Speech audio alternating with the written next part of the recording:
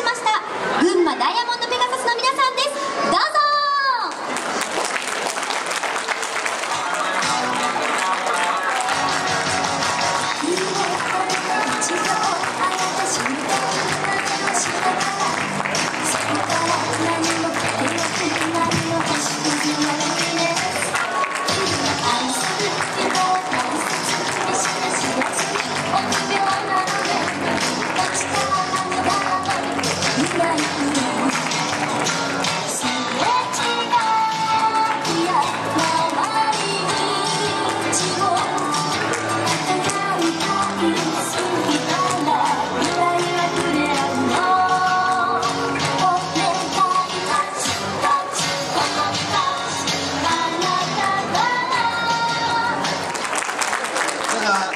ちは、えー今日はあの、えーお忙しい中お集まりいただきまして本当にありがとうございます、えー先ほどあの木梨社長からありましたが、えー去年は、えリーグ優勝、えいたしました。まそして日本一、え決定戦で、まあ、敗れてしまったわけですけど、えー去年におきましては本当に皆様の、え熱いご声援ありがとうございました。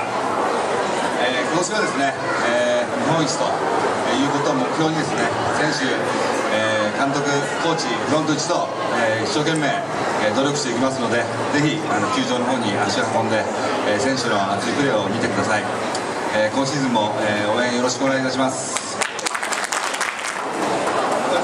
こんにちは、えーペガサスルーキーの平野です、えーよろしくお願いします、えー選手に負けないように、えー私も頑張って、え一緒になってついていって、えチームの勝利に、え貢献したいと思います、え皆さん応援よろしくお願いします。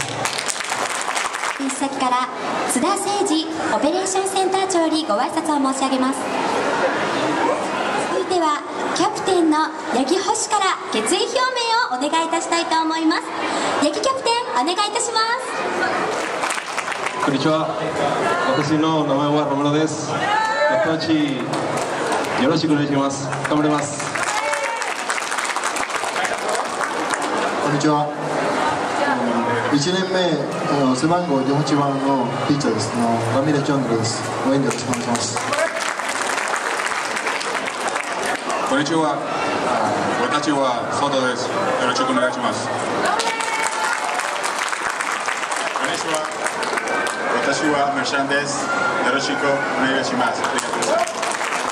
目標があって楽しみなシーズンになりそうですねその他の選手にも今シーズンに向けた力強い抱負をお願いしたいところなのですがこの辺りで終わりたいと思いますさあそれでは皆さん次のプログラムに移りたいと思いますよスタッフの皆さん選手の皆さんはご準備をお願いいたします